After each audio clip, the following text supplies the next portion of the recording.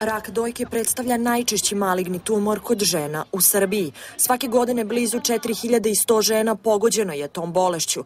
A koliko je njihova svest jaka i šta je to po njima glavni problem u našoj zemlji? Mislim da je u nama samo ima problem.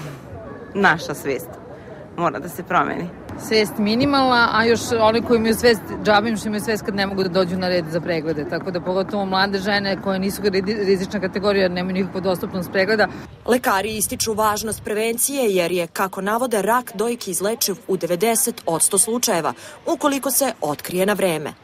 Rak dojke se može pretvoriti u hroničnu bolest, modernom tehnologijom sa njom se može živeti. Iz tog razloga treba podsjetiti sve građane e, kada i na koji način treba obaviti preventivni pregled i šta je to preventivni pregled.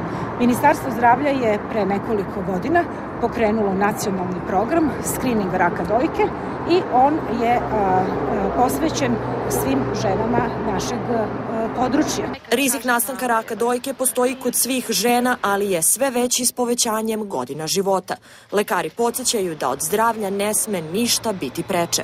Svesnost postoji, ali da postoji možda jedan mali korak da se žene odluče da se pokrenu, da odu da zakažu pregled. Dakle, mislim da pošto držimo i predavanja, ne samo u smislu obeležavanja ovakvih datuma, vidimo zainteresovane žene, ali uvek postoje neke druge, da kažemo, stvari koje su preče. Zaključak je jasan. Procenat izlačenja zavisi od faze kada se bolest diagnostikuje i koliko se redovno odlazi na preglede.